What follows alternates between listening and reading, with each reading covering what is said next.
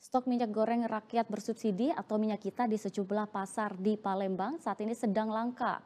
Menurut pedagang, langkanya minyak kita sudah terjadi sejak satu bulan terakhir, seiring dengan kabar akan adanya rencana kenaikan harga minyak kita. Stok minyak goreng kemasan rakyat bersubsidi atau minyak kita di sejumlah pasar di Palembang kosong atau langka. Di pasar kilometer 5 minyak kita sudah kosong sejak satu bulan terakhir. Hanya satu toko sembako saja yang masih menjual stok lama. Masih tersisa beberapa liter di dalam kemasan botol.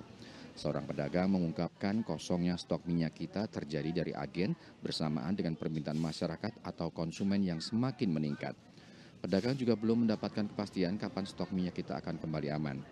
Di pasaran, harga minyak sudah mengalami kenaikan dari Rp14.000 per liter, kini menjadi Rp16.500 per liter, menyusul kabar rencana kenaikan harga. Langkanya persediaan minyak kita memaksa pedagang terpaksa membeli minyak goreng kemasan lain dengan harga mulai Rp17.500 per liter. Untuk uh, minyak kita sendiri ini kabarnya kosong ya? Kosong, nah sebulan lebih. Sudah satu bulan lebih. Ya. Eh, banyak nggak sih warga yang mencari selama kosong ini? Banyak. Peminatnya banyak. Hmm. Untuk harganya sendiri memang jauh berbeda dari minyak uh, kemasan lainnya atau seperti apa? Beda seribu, seribuan. Hmm. Sebelum kosong kemarin harganya berapa kok? 16 setengah.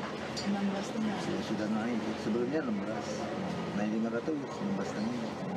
Ini kosongnya di mana kok? Biasa kita ambilnya? Hah? Kosongnya di mana nih biasa? Dari agen Nagati. Dari agennya memang. Kosong, ya memang Nagati dari agen. Kenaikan harga minyak goreng juga terjadi pada minyak curah menjadi Rp18.000 dari sebelumnya Rp17.000 per liter. Muhammad Ardiansyah melaporkan dari Palembang.